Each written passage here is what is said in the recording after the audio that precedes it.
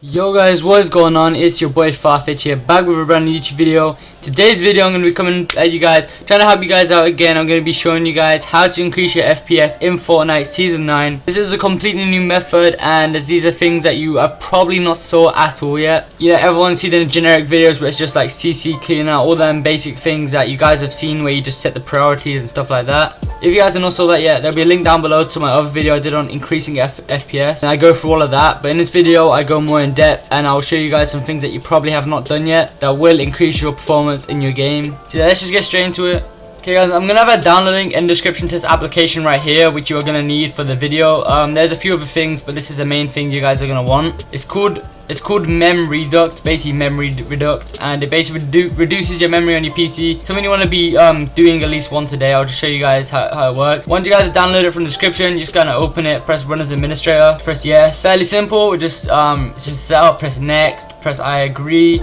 Just put it to any drive, put it in your C drive, it's probably already set to the destination folder. Press next, um, create desktop shortcut, create start menu shortcut. Just do all of them. Let it download, just press, like, uh, let it complete and download, press next. Um, and then press finish, just have it on run so it opens straight up. There you go guys, it's open straight up. It may um, prompt you to um, update, um, I wouldn't worry about that too much. Guys, once you get it open, um, you guys just basically want to press clean memory. It, it, at the moment, I've got, for my physical memory, I've got 42% being used. Virtual memory also 42%. And that is literally with Google Chrome and this application open. That is not good. What you guys want to do to basically clean up your memory, um, I'm going to do this for this case. I'm going to open up my task manager right here. To show you guys that this does generally like clean it up a bit. I'll go to memory right here. It says um, in use, it's 3.3 gigabytes. If I press here, clean memory, press um, do not ask again, press yes. There you go guys, now I've got 1 gigabyte of memory in use. It just released 786 megabytes and um, now look, there's a 20% here and 40% here. Pretty crazy, right?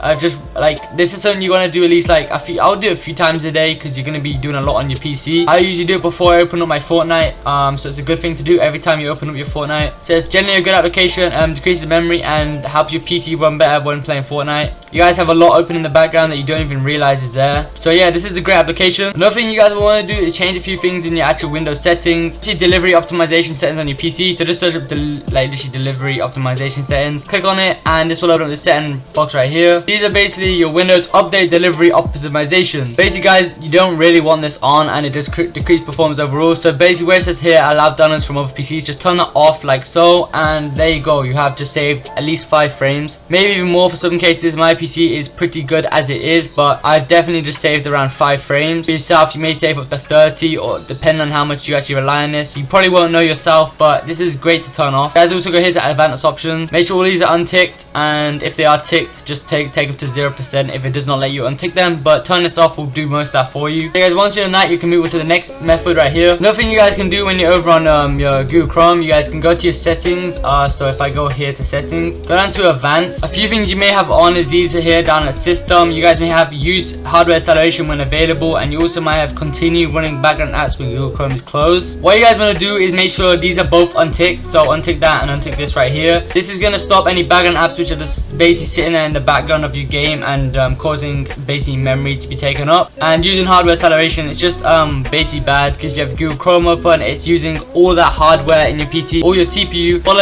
all your components in your PC are going all the way towards Google Chrome to accelerate it for best performance. Maybe turn this on and off depending on if you're using Google Chrome for a long period of time. If you're doing your homework or something like that, just quickly whack it on and everything's going to be running a lot smoother. I'd keep these off for the most part. There's also a few things you will want to change if you have an NVIDIA, NVIDIA graphics card. I have a GeForce 1050 Ti. So what I want to change here, if you go to your manage 3D settings on your control panel, you want to change maximum pre-rendered frames right here to 1. Make sure you guys press apply after. Where it says threaded optimization here, make sure that is on. Also guys, where it says vertical sync right here, make sure that is um, set to off. And then once you guys have done that, make sure you press apply to apply every single setting you just changed. Also guys, make sure power management mode's on um, prefer maximum power. Make sure you guys press apply. And once that is all sorted, um, you basically have saved all of them settings. Just press X out. Now you guys have configured your PC a little bit further for Fortnite. If you still want more added onto this, if you guys have never watched the FPS increase video before, or haven't watched my last one and want more FPS overall, best thing to do is go down the description and watch my last video I made on this. Remember guys, the download link for this um, MemReduct right here is in the description. If you guys did watch to the end or like this video or just really want to support me, best thing you guys can do is drop a like on the video and subscribe, post notifications on so you guys never miss an upload. I always try and help you guys and stuff like that. Sorry the FOV slider video was not out today, we're still in the working of it and it probably won't be out for the next week. But yeah guys, keep your eyes peeled, stay posted and I'll be up soon. But yeah, I hope you guys enjoyed the video. It's been your boy Farfetch and yeah, peace.